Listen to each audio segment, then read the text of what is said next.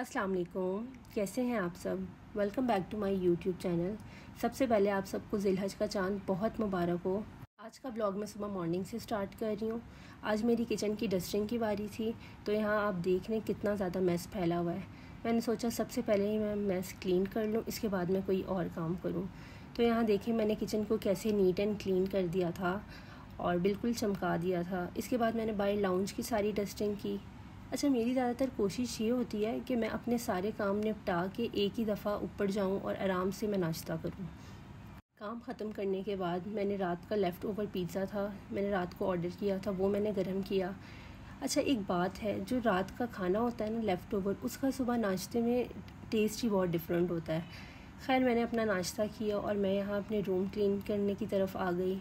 आज मैंने sheets change की थी न्यू शीट्स एक अलग ही वाइब देती हैं। मुझे तो बहुत फ्रेश कर देती हैं न्यू शीट्स इसके बाद मैंने अपना साइड टेबल ड्रॉर खोला तो यहाँ बहुत ज़्यादा मैस फैला हुआ था। मैंने सोचा आज इसको साफ़ किया जाए। वैसे तो मैं इसको हर तीसरे दिन साफ़ कर रही होती हूँ। पता नहीं क्या बात है साइड टेबल ड्रॉर्स उतने ही गंदे होते जाते हैं। यहाँ जितनी भी एक्स्ट्रा मेडिसिन थी, वो मैंने निकाली और उनको मैंने फेंका। इसके अलावा बाकी सारा मैंने ठीक किया। आपके साथ भी इस तरह होता होगा ना कि घर का कोई भी ड्रॉर हो या अलमारी हो, जितनी दफ़ा भी ठीक कर लें, वो दोबारा वैसे ही हो जाती हैं। तो खैर, यहाँ मैंने सारा मैस साफ़ किया और इसके बाद मैं यहाँ जैनब को ट्यूशन लेने गई थी। वैसे तो घर के जो हेल्पर्स हैं, वो लेकर आते हैं, लेकिन आज उनकी तबीयत ठीक नहीं थी। तो मैंने सोचा मैं खुद ही चली जाऊँ और इतनी शदीद गर्मी थी। खैर, मैं यहाँ जैनब को ट्यूशन से लेकर आई। जैनब जब ट्यूशन से आती है तो उसे बहुत ज़्यादा भूख लगी होती है, क्योंकि वो नाश्ता बहुत लाइट वेट करती है। मैं यहाँ जैनब का खाना लेके आई और अब मैं उसे खिलाने लगी थी।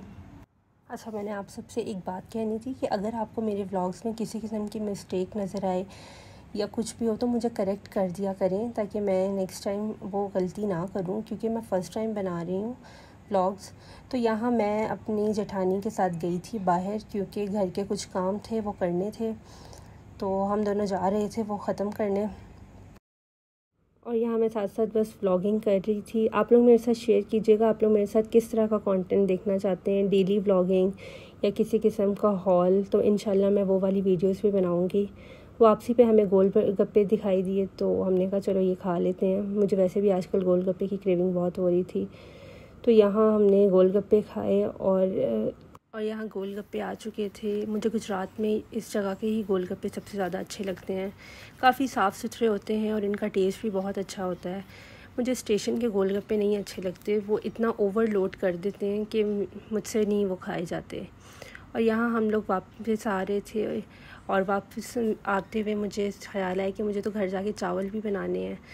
तो खैर मैंने घर आके फटाफट से यहाँ चावल बना लिए थे। और ये जो मैंने रात को पिज़्ज़ा ऑर्डर किया था, जो मैं सुबह नाश्ते में खा रही थी, ये वो है। जाते जाते प्लीज़ मेरे चैनल को शेयर कर दीजिएगा और सब्सक्राइब कर दीजिएगा। Thank you so much for watching